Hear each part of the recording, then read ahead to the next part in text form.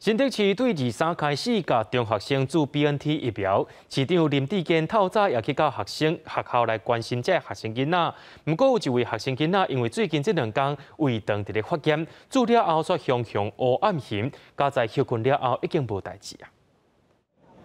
政府开放学生注 BNT 预防针，新德市暗算第十月初八进前完成三万两千外学生的疫苗接种。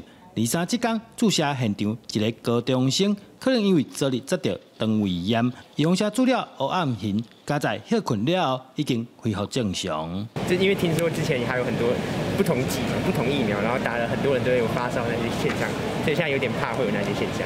毋过伫咧注疫苗进前，香山高中发出一张通知单，顶头写着无注疫苗的人袂使参加教育旅行甲公民训练，引起外界争议。还好赶紧对外道歉。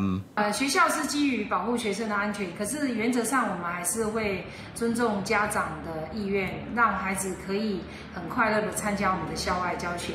那对于这个事件造成家长的困扰，我们也深感抱歉。确实，呃，有些不妥，让家长有呃有一些呃不同的意见。不过昨天呃第一时间校方也将这样子的公告撤下。另外，呃校长也表示歉意。教育处指出，虽然讲学校是希望学生会当尽量注疫苗，毋过依照规定是袂使影响学生的权益。目前已经要求学校撤销相关规定。记者杜君和新店报道。